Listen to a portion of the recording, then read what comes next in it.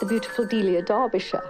She always said that a very important part of her music was wine bottles in different stages of emptiness, pitching them up and pitching them down to use them as part of the sound. I don't know whether that was true, but they were always there. She was using live recorded sounds and then treating them, and that's where she was brilliant. She could hear a sound and realise what was required to be done to it to make it interesting. She had a lampshade, a metal lampshade.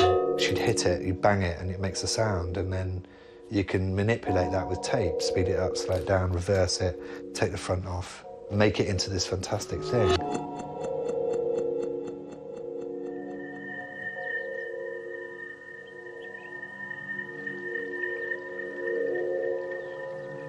The same as everybody else at the workshop and in electronic music at the time, she had to come up with techniques, had to invent techniques as she went along purely in order to achieve an